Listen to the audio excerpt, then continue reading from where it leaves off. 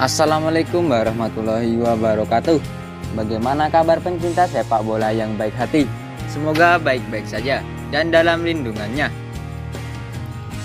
Resah, manajer Thailand ungkap kekuatan timnas Indonesia. Namun sebelum kita lanjut Dukung channel ini dulu dengan cara like, komen, dan subscribe Serta nyalakan lonceng notifikasinya Agar Anda tidak ketinggalan berita terbaru dari channel ini. Jika sudah, mari kita simak videonya bersama-sama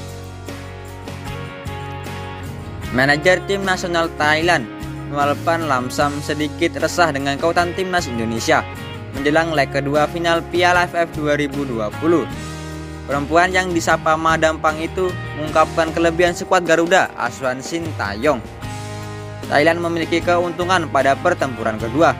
Skuad Gajah Perang mengalahkan timnas Indonesia 4-0 di Stadion Nasional Singapura pada Rabu 29 Desember 2021. Gol dicetak Sanatip Songkrasin menit kedua dan menit ke-52. Sepakan Supacok Saracat menit ke-67 dan sumbangan Bodin Pala menit ke-83. Meski demikian, Madampang tak mau skuad Alexander Polking terlena dengan kemenangan tersebut.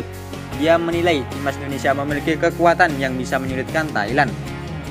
Saya sangat khawatir karena Indonesia adalah tim dengan gaya permainan yang sangat cepat mereka memiliki energi muda dan menekan sepanjang pertandingan. Ujarnya, mengutip Bongda 24H Kamis 31 Desember 2021. Kemenangan 4-0 membuat saya merasa sangat tenang. Semoga Thailand bisa juara dan membawa pulang juara di leg kedua final Piala AFF. Namun, pemain tidak boleh subjektif. Lanjut Madampang. Pertemuan kedua akan berlangsung di stadion yang sama, tim Merah Putih akan kembali melawan Thailand pada Sabtu 1 Januari 2022. Kekalahan telak membuat langkah pasukan Sintayong sangat berat untuk menjadi juara Piala AFF 2020. Mereka harus mencetak 5 gol tanpa balas ke gawang Thailand.